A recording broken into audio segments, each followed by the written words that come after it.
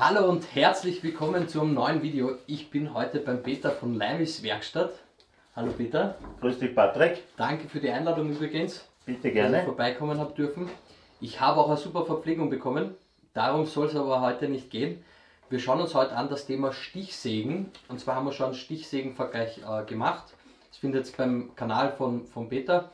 Verlinke ich euch da oben im Eck. Könnt ihr es euch gern anschauen. Schaut auch beim Kanal von Peter mal vorbei.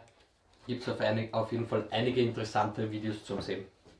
Wir wollen heute auf Fragen von euch und auch von Peter, seine Zuschauer, eingehen.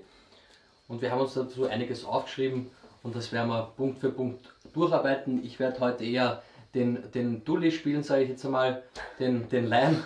Der Peter ist derjenige mit, mit, vom, vom Fach, obwohl er, sagt, obwohl er sagt jetzt nicht so, aber der Peter hat doch schon einige Jahre auf dem Buckel in der Holzbearbeitung und ich würde sagen, wir starten gleich los. Sehr schön, ja.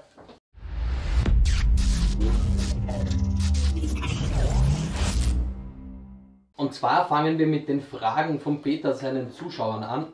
Ich, wir blenden euch die unten natürlich auch immer ein. Und zwar fragt der Holzdübel, Stichsäge, bin gespannt. Machen die nicht alle das gleiche unsauber und grob sägen? Was sagst du dazu? Na, also ich finde es nicht. Es kommt immer darauf an, ob man, äh, welche Stichsägenblatt man nimmt. Es gibt sicher auch Unterschiede in der Holz, Holz, Holz, Holz, Holzstichsägenblätter. Also für die verschiedenen Holzarten. Ja, wird sicher feinere auch geben. Äh, und auch welche Stichsäge man verwendet. Mit Pentelhub, ohne Pentelhub stellt man den Pentelhub nicht so fein ein, also nicht auf Stufe 3, da ist der volle Pentelhub da, Mhm. oder auf Stufe 0, nur hat man keinen Pentelhub. Das sind die Unterschiede nachher, wo man nachher sagt, äh, grober Schnitt oder feinerer Schnitt. Oder Schnittbild ist, glaube ich, besserer Ausdruck. Mhm. Das Schnittbild. Wir haben es auf jeden Fall schon gesehen, würde ich sagen, glaube ich, mit dem Schnittbild. Wie gesagt, Video ist oben in der Ecke Ja. verlinkt. Sehr interessant auf jeden Fall zum Anschauen. Er hat auch weiter geschrieben, mach mal einen Test, welche Oberfläche wird besser, die von der Band oder die der Stichsäge. Ich, ich persönlich habe keine Bandsäge, der Peter hat aber eine Bandsäge. Wir haben auch ein Beispiel da, wo man das ganz gut sieht. Ja, Und ich würde sagen, wir zeigen das auch ähm, kurz her ja. und blenden euch das da ein. Äh, da sieht man den Unterschied zwischen Bandsäge, da herunten, und der Stichsäge. Die Stichsäge durch den Stich, durch die Auf Abwärtsbewegung, kriegt es eine andere Schnittbild zusammen als wie bei der Bandsäge. Bandsäge fährt immer in eine Richtung und die Stichsäge macht eine Auf- und Abwärtsbewegung. Das Schnittbild ist da, das ist jetzt der Escheholz, äh, etwas gröber und die, die einzelnen Jahresringe, also die weicheren Jahresringe sind ein bisschen ausgerissen. Das hat man bei der Bandsäge nicht der Fall. Gut, das ist jetzt Längsholz, als wie äh, da über Hirnholz. Was bei der Bandsäge noch da, dazu kommt, das sind diese feinen, äh, wie soll ich jetzt sagen, diese feinen Rillen. Ich weiß nicht, ob man das im Video sieht. Sie- Sieht man, sieht man. Ja. Also man sieht's, man sieht's. Ja, äh, das ist eben halt die, die, die, die Bandsäge, wie soll ich da jetzt sagen, so richtiger Experte bin ich jetzt auch keiner, aber sie flattert ein wenig. Also sie verläuft nicht gera ganz gerade, hundertprozentig gerade. Mhm. Und dadurch kriegt man diese Rillen rein. Es hängt da davon ab, welche Holzart man da, da schneidet, ob man Weichholz schneidet oder Hartholz, so wie da jetzt die Buche. Macht das da dann auch einen Unterschied, ob ich jetzt quer oder der längs zur Faser schneide? Macht sicher einen Unterschied. Also auf alle Fälle. Okay. Ja. Macht genauso einen Unterschied. Äh, ob das jetzt dann grob geschnitten ist, das muss jeder, glaube ich, selber entscheiden. Man muss, man muss sowieso nachher, die, äh, auch bei der Stichsäge, die Kante nachbearbeiten und bei der Bandsäge genauso. Also das ist Schleifen. Ist kupft wie Katsch. Ja, es, man muss es. Man muss sowieso nachschleifen, ja. Ja. Das muss man sowieso. Vor allem wenn man es dann ölen oder, oder, oder Genau, genau. äh, lackieren oder was auch immer Ja, möchte. genau. Ja, der Holztyper hat auch noch gefragt, ähm, welche Stichsäge äh, bevorzugst du? Das führe ich jetzt einfach mal ein, es geht um die Stichsäge. Die Griffversion oder die mit dem Knauf? Also ich persönlich kann sagen, nach dem äh, Testvideo, dem Vergleich zwischen äh, den beiden Stichsägen, für euch zur Info, die, die grüne Stichsäge von Bosch ist von mir, die habe ich mitgenommen. Und die Makita da ist ähm, von Peter. Ja. Wir haben auch, wir, wir, wir nennen die eben genauso eben die mit Griff und die mit Knauf. Ich persönlich muss sagen, jetzt nach den ähm, Schnitttests, die wir gemacht haben, muss ich eindeutig sagen, ich würde mir die nicht mehr kaufen. Ich würde eher zu so einer Knauf-Variante tendieren. Was sagst du, Peter? Ja, Definitiv, definitiv. definitiv. Definitiv. Sie ist, Einfach sie hat mehr Vorteile. richtig. ganz einfach. Sie, hat, sie liegt einfach viel besser in der Hand Ja, und eigentlich finde ich es sogar sicherer, vor allem wenn ich eben schneide und kann das schneller ausschalten. Natürlich Ja. kann ich hier am Griff jetzt auch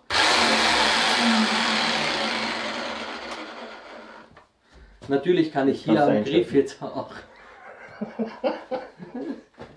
Natürlich kann ich hier am Griff jetzt auch, ähm, wenn ich loslasse, ist aus, aber wenn ich jetzt hier mit, mit so einem Schnitt von unten fahre und mir das einrast, ja, tue ich Ja. mir schwer, wenn ich da, da jetzt das Ausschuss nehmen möchte, weil ich mir so tun möchte, als hätte ich auch so eine, ja, ähm, schwer mit dem Ausschalten, wenn dann irgendwas ist. Ja. ja. Also muss ich Das- klar dazu sagen, für mich Geht bei der weit leichter, weil man ja, also ich bin jetzt zwar jetzt Rechtshänder, ich auch. Ja. ja, und wenn man da jetzt da einschaltet, dann hat man im Daumen praktisch immer am Schulter. An einen Ausschalter. Ein- und Ausschalter. Also das ist auch der Vorteil, wenn man von unten schneidet. Dann hat er auch gefragt, wozu ist die Drehzahlregulierung und ist das nicht immer bei Holz auf Maximum? Mm, jein. Also wenn ich wirklich ganz, ganz exakt schneiden muss, dann schaue ich schon, dass ich vielleicht ein bisschen oberreguliere. Beziehungsweise auch bei Dekorspannplatten oder was, wenn ich, das muss aber wirklich ganz exakt zum Schneiden sein. Dann reguliere ich vielleicht ein bisschen ober. Das, Natürlich, man muss dazu sagen, bei meiner geht das gar nicht. Ja. Ja. Die ist einfach äh, entweder ganz oder gar nicht. Bauer oder nicht. Richtig. Bei ein bisschen teureren Säge ja, geht das dann natürlich. Ja. Die hat hier in dem Fall hinten oben ein Stellrad zum Regulieren der Drehzahl. Wenn, wenn du jetzt Metall, weil steht da zwar jetzt nicht drin, aber Metall, würde ich jetzt Metall- davon ausgehen, dass ich mit, mit, Mit- äh, weniger Drehzahl Genau, Ja. genau. ähm, säge. Genauso wie es bei der Tischbaumaschine oder sonst Ja, was genau. ist. Ja. Ich habe zwar noch nie mit Metall geschnitten, mit meiner Stichsäge, also ich verwende eigentlich auch nur so grob einmal zum irgendein Holz zum Ablängen oder ja zum Ablängen oder für Blenden zum Anpassen. Mhm. Der Josef GP, darf man Ja. das? GP, GP. Ja, ähm, schreibt, Hallo Peter, vielleicht kannst du Tipps geben, wie man mit der Stichsäge so halbwegs im rechten Winkel schneiden kann. Weil bei dickerem Material verzieht es das Sägeblatt. Ha, Schwieriges Thema. Das ist, also es ist wirklich Thema, ein schwieriges Thema. Viele beschäftigt. Ja. Es kommt immer darauf an, welches Material das man hat. Hartholz, Weichholz. Welche Stichsäge man hat. Mit Pendelhub, ohne Pendelhub. Wie soll ich sagen? Tipps. Man muss um und um probieren.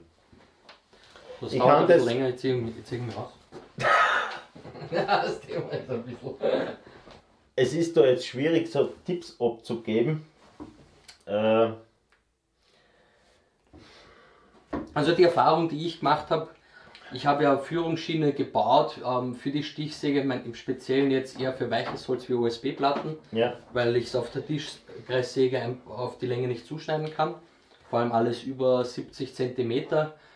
Ähm, und hab mir, ich habe mal eine Führungsschiene gebaut. Wen das interessiert, verlinke ich euch auch da rechts oben in der in Infobox. Auf jeden Fall habe ich auch gemerkt, dass wenn ich jetzt eine Führungsschiene habe, ähm, und ich meine, bei der Führungsschiene ging es ein bisschen leichter, aber viele spannen sich ja einfach nur ein Brett hin hm, und wollen dann gerade schneiden und wenn ich wenn die wenn, wenn die Säge jetzt ein bisschen abwandert, ja, weil ich nicht äh, aufpasse, dass es dort bleibt oder sowas und dann versuche, die, die Stichsäge rüber zu drücken, dass ich dadurch eigentlich auch das Stichsägeblatt schon verbiege. Ja. Das heißt, es verläuft ja dann immer mehr. Ja, man soll ihm halt vermeiden, das Stichsägeblatt irgendwie, dass das sich verbiegt. Und was mir teilweise auffällt, wenn ich selber daran arbeite, äh, man soll die Stichsäge arbeiten lassen und nicht, dass du arbeitest. Die Stichsäge soll die Arbeit machen. Ich merke das ab und zu auch, nämlich wenn ich jetzt schneide und ich druck an wie ein Trottel, entschuldige jetzt den Ausdruck, äh, dann haut es nicht ganz hin, dann verlauft man das etc. Mhm. Wenn ich jetzt aber die Stichsäge hinstelle und nur leicht andruck und die Stichsäge arbeiten lasse, dass es schneit, dann bleibt der Schnitt gerade. Das heißt, also man kann auch sagen, wenn ich zu viel Vordruck leisten muss, Genau. sollte ich vielleicht schauen, Ja. ob ich nicht das Stichsägeblatt tauschen muss, weil es stumpf Ist, ist. weil stumpf ist, genau. Klingt, glaube ich, logisch. Ja.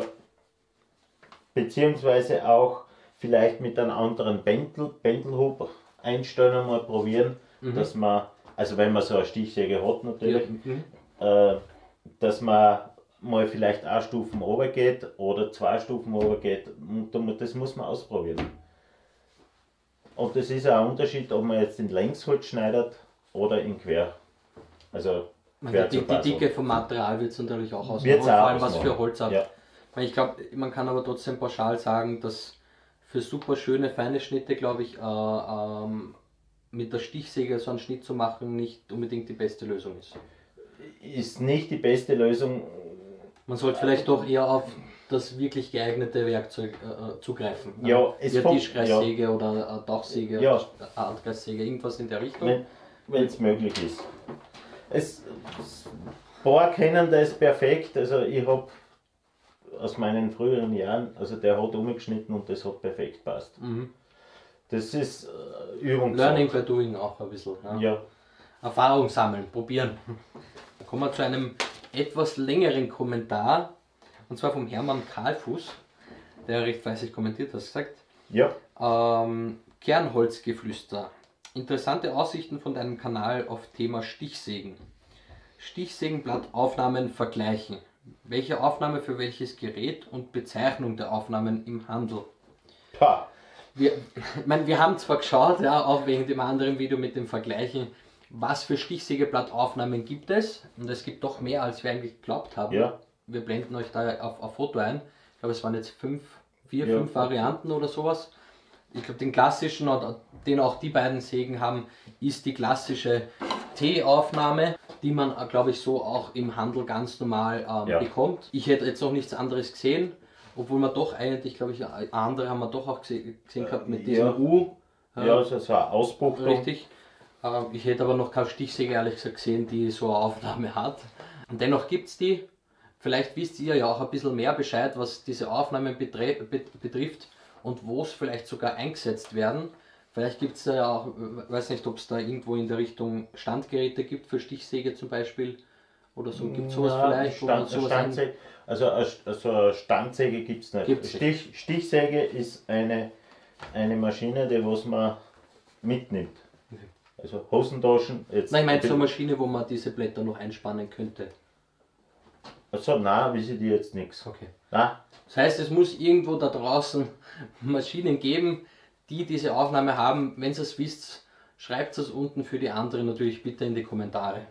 Dann hat er auch gefragt, welche Geschwindigkeit der Säge bei welchem Material. Haben wir, glaube ich, vorher schon erklärt. Brauchen wir nicht nochmal drauf eingehen. Pendelhub, Vorteile und Nachteile. starker Pendelhub eingestellt, mehr Ausrisse. Weniger, äh, weniger eingestellt, weniger Ausrisse. Das ist der Vorteil und der Nachteil. Ich glaube, was wir aber auch gesehen haben, ähm, beim, mit Pendelhub komme ich natürlich schneller, Schneller voran, Also wenn ja. ich was schneller schneiden möchte, ja, nur so grob, ja, am Dann- Pfosten oder so, sage ich Genau. jetzt mal, ja, ähm, ist Dann- man mit dem vielleicht ein bisschen besser unterwegs. ja. Ja. Also da stellt man den Pendelhub natürlich auf volle Power ein. Also ich habe da jetzt bei meiner Maschine drei Stufen, beziehungsweise vier Stufen, also Stufe 0, 1, 2 und 3. ich stelle die auf Stufe 3 ein, dann schneide ich um und die Sache ist erledigt. Ich glaube, mehr gibt es, glaube ich, auch nicht zum Sagen, zum Vor- und Nachteile Pendelhub. Also mir würde, mir würde Nein. per se jetzt nichts einfallen. Äh, Natürlich, die Maschine arbeitet eigentlich in dem Fall mehr für dich und man muss weniger äh, Ja. andrücken. Und natürlich, Da- der Schnitt ist auch gerader, sage ich jetzt einmal, wenn du nicht wieder so voll dagegen schiebst. Ja. Äh, der Nachteil ist vielleicht, die Säge rupft da mehr Mit dem Pendelhub. mit Pendelhub. Mhm. Also du hast ja keinen kein Pendelhub bei deiner, aber wenn ich mein, mein Pendelhub auf, auf Stufe 3 einstelle und ich schneide irgendwo um mich, dann hupft die Säge natürlich etwas mehr auf und ab. Also die Vibrationen sind größer. Das muss man berücksichtigen, da muss man halt gegendrucken, dann funktioniert das wieder. Dann hat er auch gefragt, den Sägeblattwechsel bei verschiedenen Geräten. Ich würde sagen, das zeigen wir da gleich einmal per Nahaufnahme. Bei derer, bei der grünen Bosch, muss man dort einen Stift zurückziehen oder den, den, den weiß nicht, wie man Stift, ich sage jetzt Stift, Die Arretierung, ja. ja, Arretierung.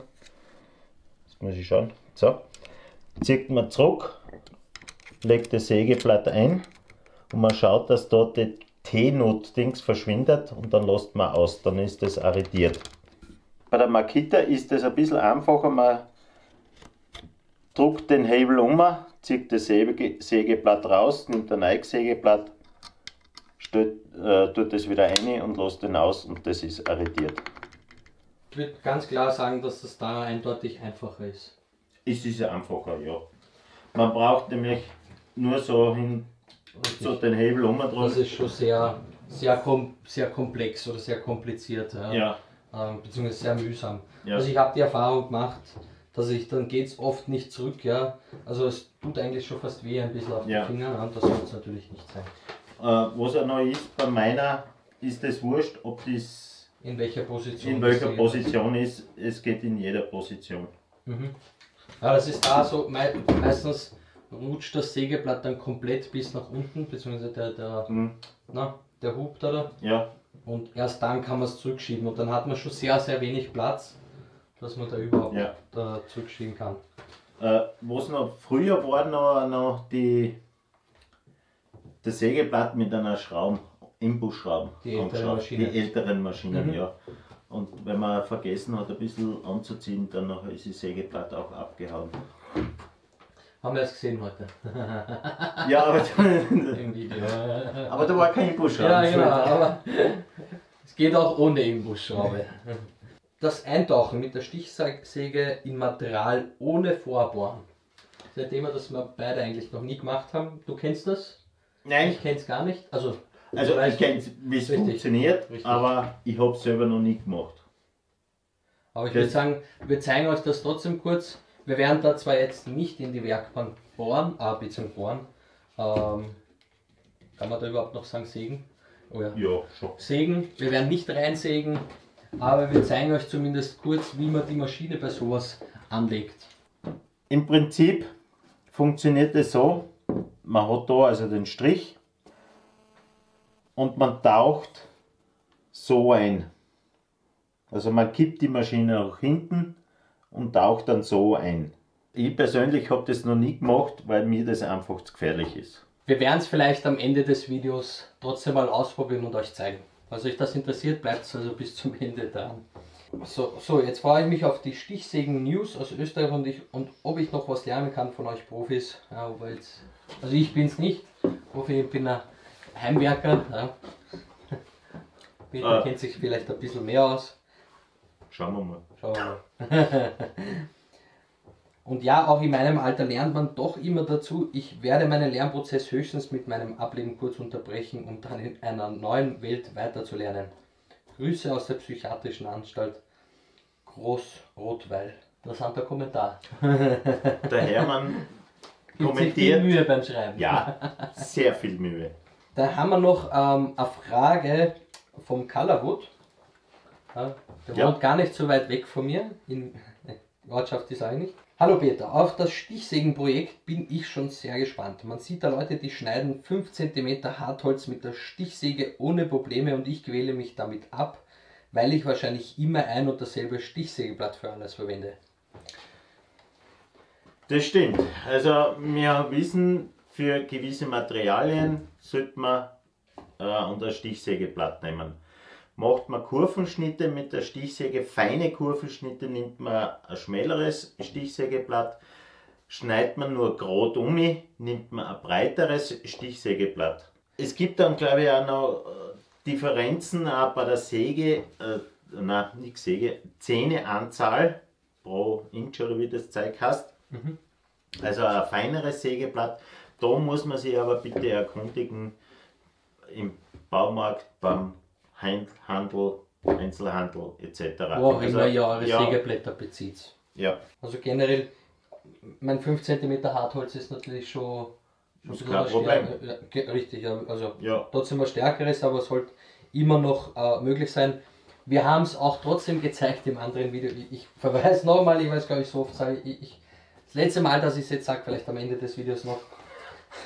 Da oben im Eck habt ihr das Video. Wir haben nämlich auch mit einem Kunststoffsägeblatt, also Sägeblatt für Kunststoff oder genau. Plexiglas genau. und Metall in, in Holz geschnitten. Sowohl weich als auch hart. Die Ergebnisse könnt ihr euch selber anschauen. Nächster Kommentar. Der Harry Eitler schreibt auf die Stichsägen-Videoreihe. Was für ein Wort, bin ich, bin ich auch schon gespannt. Bin ja jetzt kein Freund der Stichsäge. Wahrscheinlich, weil ich dafür jetzt Botschert bin, aber ich schaue zu und lerne von euch. Ja, ich glaube, also ich bin jetzt auch kein, also ich will nicht sagen Fan von einer Stichsäge, aber ich glaube, manche haben einfach nie, nicht das Geld, dass sie sich Tauchsägen, Tischkreissägen und sowas alles zugleich leisten können. Ja. Und ich glaube, so an so eine Stichsäge kommt man doch schneller mal ran, genau. als an eine Tauchsäge, die gleich ein paar hundert Euro kostet. Genau. Meine Meinung ist, eine Stichsäge ist schon sehr wertvolles Werkzeug in der Werkstatt. Jede Maschine hat seinen Verwendungszweck. Genau. Und was man, ich glaube, es ist keiner Botschaft. Man muss da nämlich irgendwo einen Respekt haben vor der Maschine. Angst darf man sowieso keine haben. Das ist jetzt wurscht, welche Maschine. Ja, richtig. Ja. ja. Ob ich jetzt ein Formatkreis bediene mit einer 400 Platz Sägedurchmesser oder äh, DKS von Bosch oder wie sie heißen. Mhm. Äh, man muss einen Respekt haben und ja keine Angst. Und das ist, glaube ich, auch bei der Stichsäge so.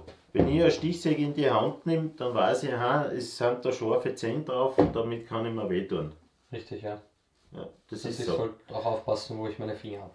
Genau, also, weil sonst. Wie bei jedem anderen Sägeblatt auch. Genau. Dann haben wir auch noch Fragen meiner Zuschauer. Zwar habe ich da auch ähm, ich habe eine Videoreihe gemacht, wie gesagt, zu der Führungsschiene. Und da gab es auch einen, der hat die nachgebaut und hat natürlich ähm, seine Probleme gehabt. Der Eisenbahn Mittelfranken Schwaben schreibt, trotz dieser Vorrichtung wird mein Schnitt nicht gerade. Die Fußplatte sitzt gut und ohne Spiel in der Führungsschiene. Aber das Sägeblatt wandert beim Sägen immer weiter nach links, bis es irgendwann so schief ist, dass es sich verkantet. Das Blatt ist gut justiert, die Führungsrolle rollt gut und stabil und auch das Hubgestänge hat kein Spiel. Das Sägeblatt ist nicht verbogen, Pendelhub ist ausgeschaltet. Hat jemand eine Idee, woran es liegen könnte? Ich meine, das ist eine Frage, die auf jeden Fall öfters auftaucht. Ich glaube, bei jedem, der irgendwie mit einer Stichsäge schon gearbeitet hat oder anfängt, ähm, auch ich eigentlich. Äh, es passiert mir genauso. Das streite ich nicht ab, wenn ich jetzt da einmal im Massivholz längs der, längs der Maserung schneide, dass man mal ein Sägeblatt verläuft. Das ist so. Weil, wenn man sich da anschaut, ist, ist Holz hat ja weiche Jahresringe und harte Jahresringe. Und das Stichsäge, also das Sägeblatt sucht sich immer eigentlich den weicheren Teil als wie den harten Teil. Und dadurch kann es passieren, dass es verlauft. Wenn man jetzt Massivholz schneidet, vor allem, also Massivholz schneidet, man stellt sich den Pendelhub ein und man sollte ihm halt die Stichsäge arbeiten lassen. Das ist, glaube ich, sehr wichtig und das fällt da mir immer auf, wenn ich mit der Stichsäge arbeite, wenn ich, wie vorher auch erwähnt, wenn ich andruck wie ein Blöder, geht nichts weiter und das verläuft mir und was auch, was auch immer. Und wenn ich jetzt da aber die Stichsäge arbeiten lasse mit einem leichten Druck nach vorne, also so dass es weiter schiebt, die Stichsäge, dann schneidet sie gerade. Natürlich auch wichtig, scharfes Sägeblatt, kein stumpfes Sägeblatt. Und klarerweise, wie wir schon gesagt haben, das richtige Sägeblatt fürs richtige, Ja. also für das jeweilige Material. Ja, Jedenfalls ha, habe ich ihm natürlich auch die Frage gestellt, welches Material, welche Materialstärke äh, äh, er bearbeitet. Und als stimmt, die Führungsschiene habe ich mit Schraubzwingen auf einer 18 mm Fichte Leimholzbrett monti- montiert und gesägt wurde quer zu Faser. Da muss ich mich vielleicht auch ein bisschen selber an der Nase nehmen. Die Führungsschiene, die ich gebaut habe, war, da war der Boden an sich schon mit einer 10, äh, 10 mm Multiplexplatte. Das heißt, ich habe ähm, 10 mm Multiplex. Ich gehe jetzt davon aus, er hat es auch mit 10 mm Multiplex gebaut Mhm. und hat, hat dann eine 18 mm Platte, die er schneiden muss. Ja. Das Sägeblatt hat ja nur eine gewisse Länge genau. und ich, ich, ich stelle mir jetzt vor natürlich um, um, um, das heißt, er arbeitet ja eigentlich dann immer weiter hier unten. Wenn ich jetzt das so wie bei der, bei der Führungsschiene habe, man muss jetzt rechnen, man kommt da jetzt da 10 mm weg, dann hat man das Material und je weiter dass man am, zum Ende des Sägeblatts kommt, desto unstabiler wird es. Ich glaube, man sieht das auch, damit ihr das auch seht. Darf ich kurz? Ja, Man sieht, dass sich das Sägeblatt natürlich auch dann bewegt. Das ist das, was der Peter meint. ja. Hat man bei der Vorrichtung ein Spiel drinnen, wo das Sägeblatt läuft oder beziehungsweise die, die Führungsschiene, also die, die, die, den Tisch? Na, ich habe es ich hab's sehr ähm, passgenau eigentlich an den Fuß von der Ja. Säge gemacht. Also ich habe wirklich das, das erste Brett montiert, dann Ja. die Säge angelegt und dann das zweite Brett angelegt Ja. und wirklich ähm, festgeschraubt. Ja. Also ich habe kaum Spiel eigentlich in der, in, in der Führungsschiene. Ja, Weil Ich persönlich, wie gesagt, ich habe auch noch kein Hartholz damit gesägt, muss ich auch dazu sagen. Ich nehme es eher nur für Weichholz. Ja. Ähm, es ist da schwierig, irgendwelche Auskunft zu geben. Das müsste man, glaube ich, sich so, so richtig Sich im Fall vom Fall- Fall direkt vor Ort anschauen. anschauen. Äh, es gibt da so viele Varianten, warum das schief läuft. Ist, trotzdem, was ich mir schon vorstellen kann, ist, ich habe ja trotzdem wieder das, das Thema, dass ich andrücke. Ja, Wenn ich jetzt ohne Pendelhub vielleicht sogar arbeite, genau. kann es schon sein, dass es dadurch dann Ja. wieder verläuft. Es kann auch sein, dass vielleicht das Sägeblatt ein bisschen verbogen ist. Es kann sein, dass man dass das nicht hundertprozentig drinnen ist, obwohl man glaubt, das ist hundertprozentig drinnen. Oder es, Es ist das Sägeblatt vielleicht stumpf. Ja, Wäre auch eine Möglichkeit. richtig. Ich Ja, glaube, das also geht ja gibt- noch schneller, als man glaubt. Ja, es gibt da so viele Varianten und Möglichkeiten. Er schreibt auch unten übrigens, aber ich gesagt habe, ich glaube, er hat äh, mit meinem Material gebaut. Für die Schiene habe ich eine Mehrschichtplatte verwendet, das sind so 10 mm. Der Schnitt in der Schiene selbst wurde schön gerade, aber erst, äh, erst als ich die Führungsschiene als Schiene nutzen wollte, wurde es krumm. Ich probiere es morgen mit Pendelhub nochmal aus. Ja, Also das war ein Thema, das sieht man gerade. Ähm, da haben natürlich am Anfang einige Informationen gefehlt. Also es war auch das Material natürlich, das ich verwendet habe, war jetzt vielleicht nicht optimal. Und er hat den Pendelhub natürlich auch nicht verwendet. Es wäre natürlich auch, dann auch noch die Frage, wie lang war das Sägeblatt? ja. Beziehungsweise auch welche, welche Maschine, weil wenn man jetzt da Hausnummer jetzt mal eine relativ günstige nimmt, ist der Tisch überhaupt gerade? Ist der Tisch im Winkel zum Mhm. Sägeblatt? Weil das, das spielt alles eine Rolle. Dann hat auch der Herr äh, zu Zöpper, Zöpper J geschrieben, Hi, danke für, das, für, für das, die interessante Idee, meint er. Wenn wir beim Thema Stichsäge sind, ich nutze meine, meine grüne PBS, glaube ich, vor allem für kleinere, ich, ich habe da PST, okay, gut. PBS ist es nicht, aber meine zumindest nicht. Vor allem für kleinere Arbeiten und Motive. Was ich interessant finden würde, wie sorgt man, dass der Schnitt nicht nur in der Länge gerade ist mit der Führungsschiene, aber auch in der Tiefe. Ich habe alles ähm, schon versucht, verschiedenste Blätter für verschiedene Holzarten, langsame und schnelle Sch äh, Schnittgeschwindigkeit. Möglich wäre ein Video über das, dieses Thema, welches Blatt für welches Holz, welche Marke von Blätter ist zu bevorzugen, wie einstellen und so weiter.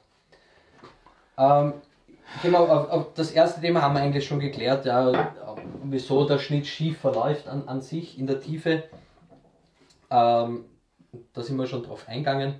Ähm, verschiedenste Blätter für verschiedene Holzarten.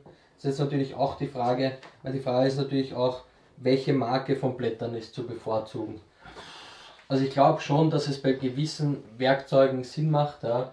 Ähm, man sieht, man hat es auch bei der Stichsäge eigentlich gesehen, ein bisschen mehr Geld so auszugeben in etwas äh, qualitativeres, Ja. ja, wie irgendwas günstig. Ich nehme ich nehm jetzt von mir ein Beispiel her.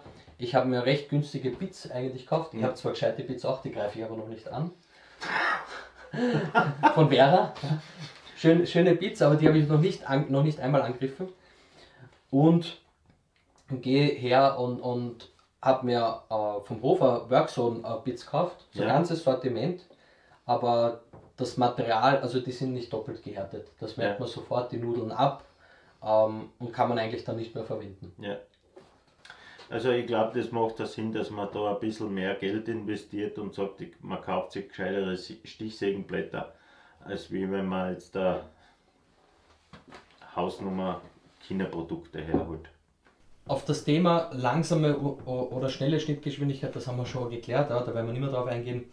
Ähm, welches Blatt für welches Holz, würde ich jetzt glaube ich, ha- haben wir eigentlich grundsätzlich Eigentlich auch schon erwähnt. gesagt, ja. Und es wird eigentlich beim Hersteller vom Sägeblatt ja vorgegeben, für welches Holz das geeignet ist.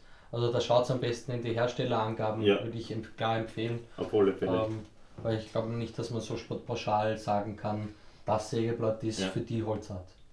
Das ist gleich wie beim, bei einer Kreissägeblatt. Richtig. Genau. Dann kommen wir noch, ich habe natürlich auch noch äh, Fragen vorbereitet zu Fragen, die ich habe, die ich mir überlegt habe. Die Dicke des Materials. Glaubst du, dass irgendeine eine spezielle Grenze gibt äh, ähm, an Materialstärke, unabhängig jetzt, ob es das Sägeblatt da, dafür gibt, ähm, wo du sagst, das würde ich definitiv nicht mehr mit der Stichsäge schneiden? Ja, gibt's. Also wenn ich jetzt einen Balken habe mit Hausnummer, ich nicht, 20 x 20 cm, es nicht mehr mit der Stichsäge schneiden. Also das, das ist, war mir schon zu stark. Obwohl es ja ei- eigentlich Stichsägeblätter dafür Ja. gibt. Der Peter hat ein paar äh, Stichsägeblätter vorbereitet, wenn ich da jetzt das, das nochmal herzeigen. wenn wir es aufkriegen.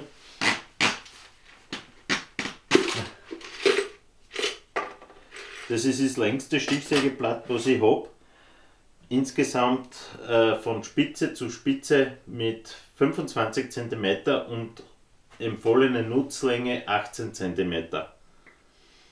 Also das ist schon ein sehr gewaltiges Stichsägenblatt. Ich selber habe das noch nie wo gesehen eigentlich und erst eigentlich auch durch, durch, äh, durchs Video für die Stichsägen äh, habe ich mir das gekauft und habe mir gedacht, ja okay, Also man sieht auch, wenn man, wenn man das jetzt nur so anhaltet, ja, wie, wie, wie hoch das eigentlich raussteht, das Sägeblatt.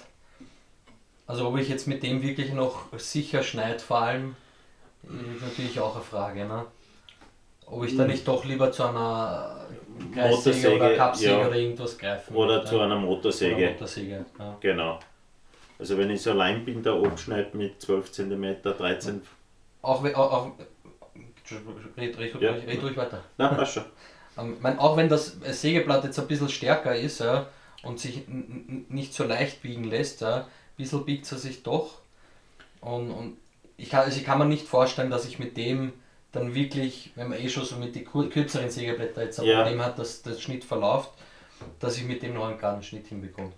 Man müsste es ausprobieren. Müsste man ausprobieren. Aber so einen starken Balken Ja. habe ich nicht. Wir könnten ein paar Brenner zusammenleimen. Ja, wir könnten da so zum Beispiel so, so durchschneiden. ja, stimmt. Könnten wir probieren. Könnte man probieren. Probieren wir auch am Ende vom Video. Genau. Ähm, was ich einmal äh, gelesen habe oder gehört habe, ist, es ist wichtig, dass man sich das Werkstück auch fixiert. Also jetzt nicht nur so hinlegt und sägt, wo dann Ja. alles verrutscht und, und, und, und vibriert, weil das Sägeblatt dann auch verlaufen könnte dadurch. Ja. Und vor allem dein Schnitt selbst, den du schneidest, wird nicht gerade, weil du musst immer gegen, das bewegt sich ein bisschen weg und du musst immer nachjustieren eigentlich. Im Prinzip, also wenn man massiv halt schneidet, wenn man es schön schneiden muss, dann ist es sinnvoll, wenn man das fixiert. Wenn man einfach nur so umschneidet, Wenn, wenn, einem, wenn einem der Schnitt wurscht ist. Ja, also wenn man jetzt ein Massivholz abschneidet, also Mhm. ablenkt, dann lässt man sowieso Übermaß, dann ist es im Prinzip wurscht.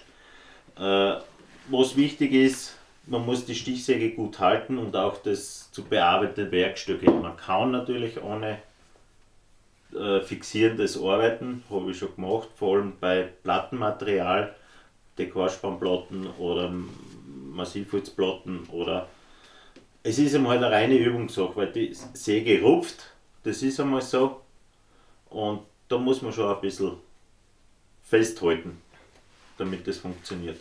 Leichter tut man sich natürlich, wenn man das Werkstück Sie fixiert. fixiert natürlich, ja. Das ist ganz klar. Aber Mann ist faul. Mann ist faul. Ähm, ich hab, dann habe ich auch noch die Frage, macht es einen Unterschied, ob man längs oder quer zur Faser sägt? Ja. Und, und vor allem gibt es, gibt's, weißt du, gibt's, äh, Sägeblätter, die man ja, eher für quer zur Faser oder längs zur Faser nimmt? Weiß ich nicht. Wie, weil beim, beim, beim ähm, Tischgleissägeblatt ist es ja so, dass man die, die, die Schrägverzahnungen, Ja. die nennen wir so, ja, nein, Schräg. Sag ich ich sie richtig? Korrigiere mich. Äh, Okay, ihr wisst aber hoffentlich, was wir meinen. Ja? Ähm, dass man ja die das Schränkung. Eher, äh, Nein, die Schränkung eigentlich auch nicht, sondern den Schliff. Okay. Na, verschränkte Zähne sind es auch, oder? Ja, die, die, die Schränkung ist wieder das, die Schränkung ist ganz was anderes eigentlich. Die Schränkung ist das, wenn ein Zahn so umsteht und der andere Zahn wieder so umsteht. Ja, mhm. Bei einer Kreissäge ist das ja anders, da sind die Zähne gerade. Ja, die laufen in einer Flucht. Aber der Und- Schliff ist, aber der Schliff ist einmal so, Ja. so. Mhm. Also sie stehen nicht so auseinander, sondern. Genau, es ist der Schliff eben halt dementsprechend. Weil man sagt ja, äh, ähm, bei, bei, wenn, du, wenn du quer zur Faser schneidest, nimmst. Äh, grö- gröberes. Richtig. Also, äh, nein, ein feineres eigentlich. feineres. Ein Ja. feineres.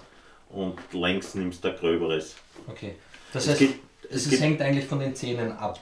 Ja, es gibt natürlich so Universalblätter, so wie bei der Kreissäge, wird es auch sicher bei der Stichsäge geben, wo du längs und quer schneiden kannst. Also ich persönlich nehme ein Sägeblatt für quer und längs. Bei der Tischkreissäge jetzt in dem Fall. Tischkreissäge und auch beim, bei der Stichsäge. Ja, auch bei der Stieg. Okay. Ja. Hätten wir das Thema auch geklärt. Also die Verschränkungen sind jetzt nicht relevant, ob quer oder längs zur Faser. Kann man das jetzt so grob sagen?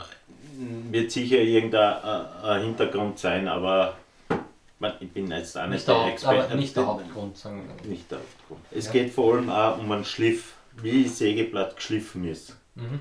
Es gibt ja Unterschiede, also wenn ich da jetzt da anschaue, die Unterschiede, äh, wie, wie ist das Sägeblatt geschliffen? Ob das jetzt da einen Hohlschliff hat, ob das jetzt nach innen geschliffen ist oder was Mhm. auch immer. Okay. Äh, Es macht da sicher noch einen Unterschied, wie der Zahn geschliffen ist. Da sieht man, glaube ich, sieht man das im Video? Die, die Schränkung. Ich nehme mir das andere Sägeblatt aus. Man sieht das, und da ist er mehr oder weniger nach innen geschliffen. Also der hat einen ganz anderen Schliff als wie das Sägezahn, äh, das Sägeblatt. Mhm. Und das macht auch einen Unterschied aus, schätze ich einmal, ob es erstens einmal quer zur Faser, längs zur Faser und ob ein Sägeblatt verläuft. Also ich hoffe, ihr habt es auch verstanden, auch wenn wir ein bisschen abgeschweift sind, aber ich hoffe, ihr habt es verstanden. Wenn nicht, schreibt es unten in die Kommentare, der Peter wird sich die Kommentare sicher auch durchlesen und dann Auf werden wir das ein oder andere noch beantworten. Dann habe ich noch eine Frage an dich, ähm, die auch ein bisschen auf mich abzielt. Und zwar ist das Thema Führungsschiene.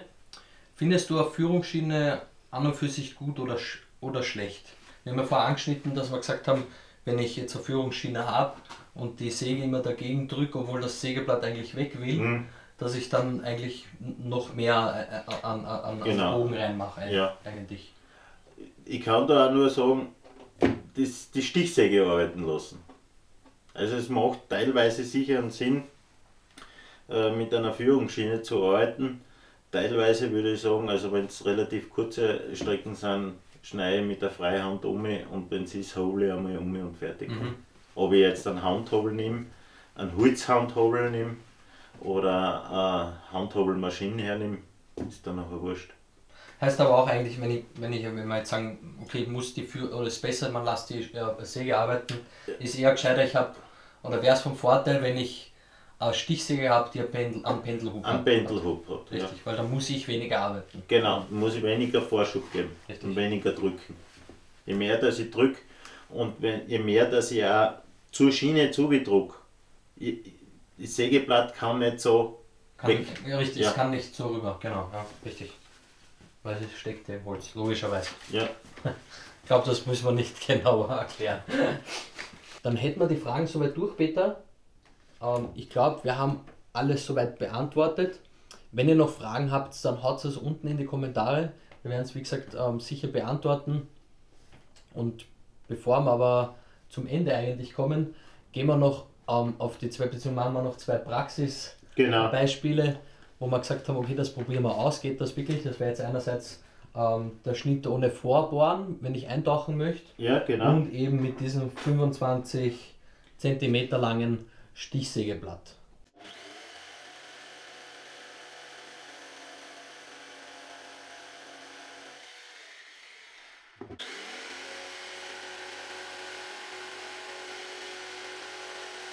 Also wir haben es jetzt, wir haben es probiert, ähm, da einzutauchen bei ähm, einer beschichteten Platte. Ja, Ging es Ja. nicht. Da haben wir eigentlich nur ein paar Kratzer reingemacht. Und das Sägeblatt biegt, biegt sich auch total. Wir haben es da probiert, wir kommen zwar runter, aber es dauert sehr lang. Ja. Und ich muss auch ehrlich sagen, ich weiß jetzt nicht, ob das das richtige Sägeblatt ist. Mal den Querschnitt herzeigen. Äh, und ich muss auch ehrlich sagen, ich habe da sehr Respekt davor und eigentlich Angst will ich jetzt nicht sagen, aber Respekt davor, dass mir da irgendwas um die Ohren fliegt. Vor allem auch die Stichsäge. Deswegen breche ich das Experiment ab.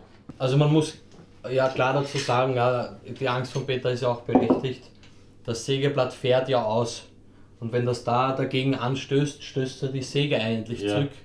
Also es ist eigentlich kein sicher, sicheres Arbeiten aus unserer Sicht, würde ich jetzt sagen. Aus meiner Sicht, ja. Ja, also ich Also- stimme da vollkommen zu. Ich würde es nicht tun. Würde ich mir eher irgendeine andere Lösung einfallen lassen. Was ist Genau. für Alternative Vorbohren? A, vorbohren oder B, es gibt ja so die oszillierenden Dinger da. Mhm. Bosch hat glaube ich eine, was auch immer, oder wer auch immer, da mit einem Schnitt reinmachen und dann kann man mit dem Sägeblatt oder Stichsägeblatt nachfahren, wenn es wirklich ist. Aber das Eintauchen mit der Stichsäge, nein. Also ich persönlich, nein. Hätte ich auch zu viel Respekt drauf. Ja, Dann schauen wir uns jetzt an ähm, den Schnitt mit dem 25 cm Stichsägeblatt. Da bin ich ein bisschen gespannt drauf. Ja. Aber es schaut sehr, trotzdem auch, auch das schaut eigentlich sehr, sehr wild aus, muss man, muss man schon sagen. Also wir haben es schon drinnen stecken gehabt und einmal auftritt. Ob ich, ob ich, ob ich sowas äh, laufend verwende, weiß ich ehrlich gesagt nicht. wir haben eine Breite von knappe 16 cm.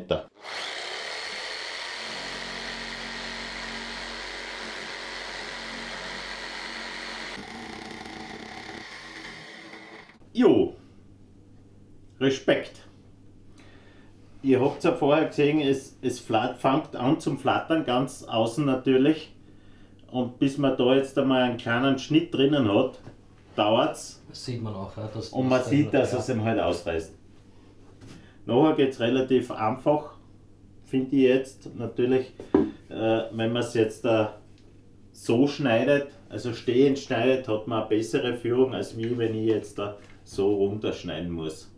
Ja, das, äh, das ist ganz klar. Ja, es funktioniert. Funktionieren tut's. Aber ich würde nicht empfehlen, das lange Blatt, glaube ich, für was Dünneres zu verwenden. Ja.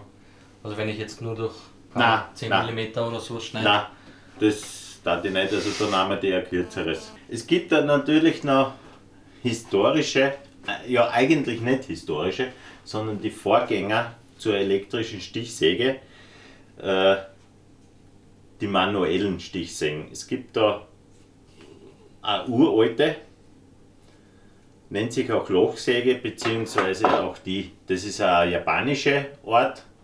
Die Art natürlich, wenn es mir ganz, äh, ganz täuscht, auf Zug und nicht auf Stoß. Hat dann natürlich einen besseren Schnitt, aber der Nachteil ist, man muss immer ein Loch bohren. Ich glaube sogar, dass es auf Zug ist, weil es so dünn Ja. ist auch. Ja. Und es geht sehr wohl also zum Schneiden.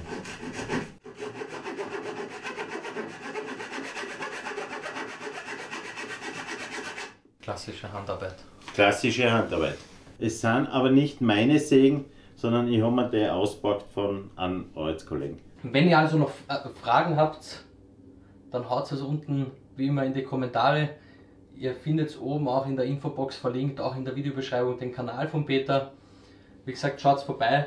Gibt wirklich einiges Interessantes ähm, zum Sehen. Auf jeden Fall mehr mit Holz Danke. wie bei mir und was Möbel betrifft. Ansonsten, wie gesagt, es ist eines meiner letzten Videos oder Mhm. Videos, wo man mich zumindest sieht. Den Peter, Peter wird weitere noch Videos machen. Ich bin noch mit dem Hausbau beschäftigt. Das heißt, wirklich etwas Neues wird es dann wieder geben ähm, in der neuen Werkstatt. Da werde ich den Peter dann auch zu mir einladen. Danke Peter nochmal für die Einladung. Bitte gerne. Hat echt Spaß gemacht heute der ganze Tag. Hat mich sehr gefreut. Ja. Die Verpflegung war auch sehr super und der Service vor allem. Ansonsten, wie gesagt, danke nochmal fürs Zuschauen bei euch. Wir wünschen euch noch, diesmal wir, nicht ich, wir Ja. wünschen euch noch einen schönen Abend. ja. Servus. Baba.